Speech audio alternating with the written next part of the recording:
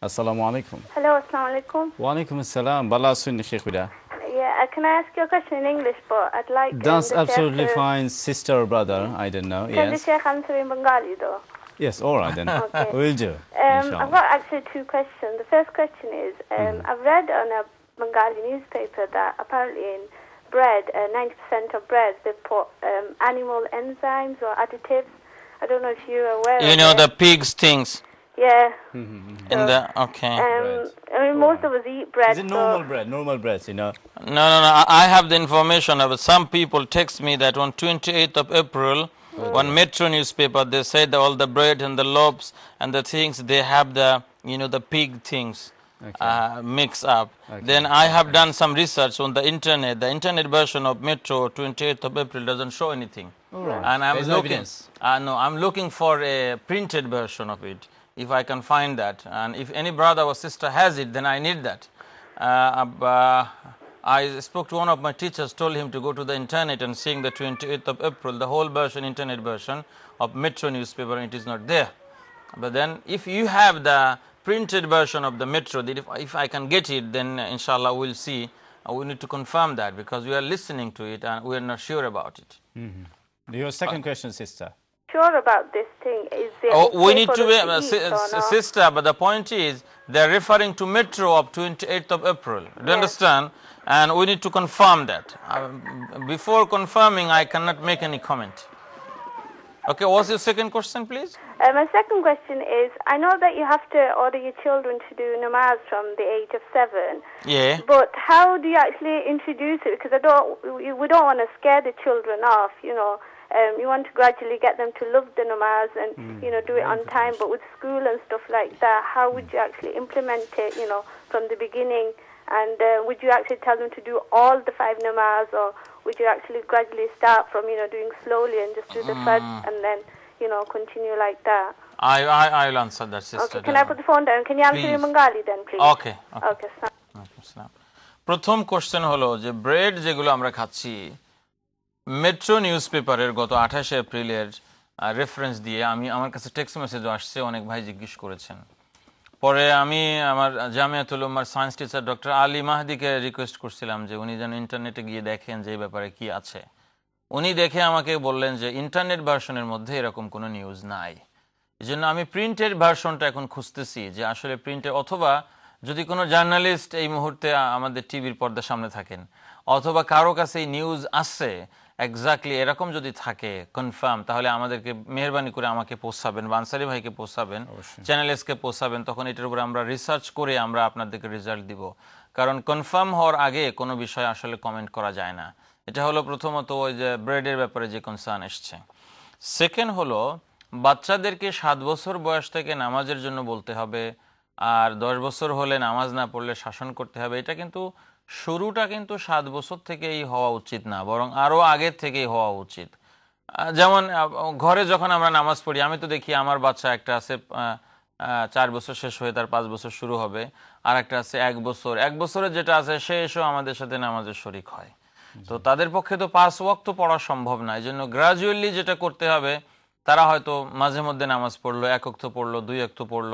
এরপরে ধীরে ধীরে যখন তাদের বয়স নয়, দশের দিকে চলে যাবে, তখন যাতে করে তারা রেগুলার হয়। এই জন্য প্রথম দিকে এক অক্ত, দুই অক্ত, তিন অক্ত করে, বিশেষ করে মা যখন নামাজ পড়ছেন, তখন ছেলেমেয়া পড়ছেন বা মা বাবা যখন পড়ছেন, তখন ছেলেমেয়েদেরকে ইনভলভ করছেন। এইভাবে ধীরে ধীরে তাদেরকে এনকারেজ করতে হবে। এবং এর জন্য তাদের একটা মোটিভেশনও থাকতে হবে এবং একটা ইনসেন্টিভও তাদের থাকতে হবে যাতে করে তারা মনে করে যে নামাজটা ইম্পর্টেন্ট এই জন্য গ্রাজুয়ালি এটা আমাদেরকে করতে হবে। একদিনেই we can't implement five time sister বা আমরা এই জন্য কিছু সিডি ডিভিডি দেখাতে পারি নামাজের যেগুলা একদম আমি তো একবার এমন করছিলাম যে নামাজ এক অক্ত পড়লে পরে টিক দেওয়ার ব্যবস্থা করতে হবে এবং পার বক্ত টেন পেন্স এরকমও করতে পারেন অনেকে। এখনও আমার ছেলে মেয়েদের আমার কাছে এখন অনেক পয়সা পাওনা আছে তাদেরকে পে করতে হবে আমার। জাজাকাল্লাহ খাইরান that's very good method anyway we are going to the next call ইনশাআল্লাহ হ্যালো আসসালামু আলাইকুম রাহমাতুল্লাহ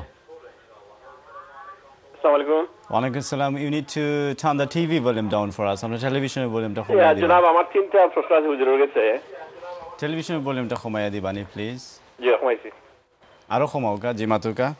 জি তিনটা ইয়ে আমার আমাদের এটা হলো গিয়া যে কোন পুরুষ যদি মারা যায় স্ত্রী যত তাড়াতাড়ি সম্ভব আহ, সাদা কাপড় পরা এবং অলংকার খুলি নেওয়া এটা কতটুকু যুক্তিযুক্ত। আমি তো স্টাডি করছি বেশ কিছু ইসলামিক বুক কিছু পাইছি না এক নম্বর। আচ্ছা, দুই নম্বর হইতেছে আমরা মসজিদে গেলে জামাতে গেলে দেখি যে একজনে আরেকজনকে কুস্তাকুস্তি করে সামনে দিবার লাগে আমি যেতাম না আরেকজনের সামনে দেওয়া লাগে।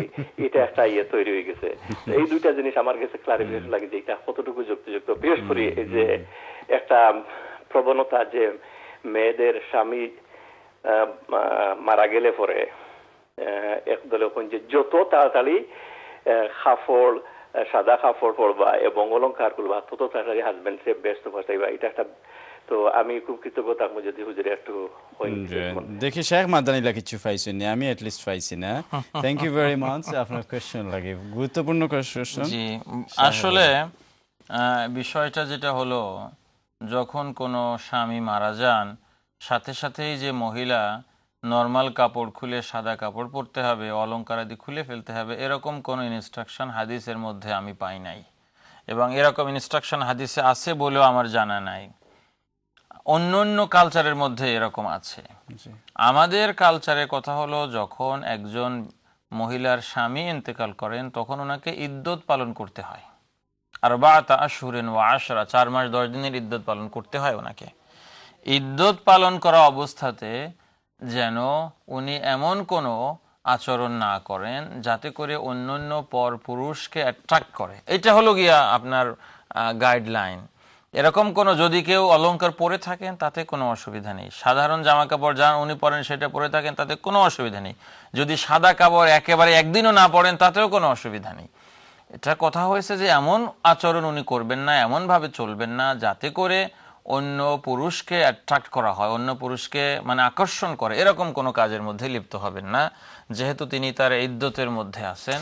ইদ্দাহ যেটা এটার বাংলাটি কি ইদ্যা হলো নির্দিষ্ট সময়। নির্দিষ্ট সময় হ্যাঁ, এটা নির্দিষ্ট সময় পালন করা। আচ্ছা। নির্দিষ্ট সময় পালন করা হলো ইদ্যত। এটা হলো আপনার প্রথম কোশ্চেনের আনসার দ্বিতীয়ত হলো আমরা সামনের কাতারে আর এক অন্যদেরকে ধাক্কাধাক্কি করি। আসলে উচিত হলো সুন্নত হলো যার সামনে জায়গা খালি হবে, তিনি রেসপন্সিবল হবেন এই জায়গাটাকে পূরণ করার জন্য। এই জন্য আমি তো আমার মসজিদে এটাও বলি যে if you see gap in front you please fill it in আমি ক্লিয়ারলি এভাবে বলি, যেহেতু স্টুডেন্টদেরকে আমার ইনস্ট্রাকশন দিতে হয় if you see gap in front of you please fill it in যার সামনে যিনি জায়গা খালি দেখবেন, তার দায়িত্ব হলো তিনি এই জায়গাকে পূরণ করবেন। এটা হলো সুন্নত নিয়ম। এখন কোনো সময় এক্সেপশনাল হতে পারে। এখন মনে করেন হঠাৎ করে মসজিদে একজন মেহমান আসছেন। এই মেহমানের ইজ্জতের জন্য হয়তো কেউ কি করছেন, কাউকে কোনো এক সময় দিয়েছেন। কিন্তু এটা যেন নর্মাল প্র্যাকটিস না হয়। একজন হয়তো খুব বড় মুরব্বী আর অন্যরা সবাই ইয়াং আছে, হয়তো মুরব্বীকে কোনো এক সময় সম্মান দেখাইছেন। কিন্তু এটা যেন, এটা নিয়ে যেন মানে ধাক্কাধাক্কি না হয়। এই জন্য নিয়ম হলো, যার সামনে জায়গা খালি থাকবেন, তিনি জায়গাকে পূরণ করবেন। এটা হলো সুন্নত। আল্লাহ আলাম। আল্লাহ ভালো জানেন। অসংখ্য ধন্যবাদ যা ফোন করছেন। পরবর্তী কলার সাথে আমরা কথা বলছি। আসসালামু আলাইকুম। আসসালামু আলাইকুম। আসসালামু আলাইকুম খোলার।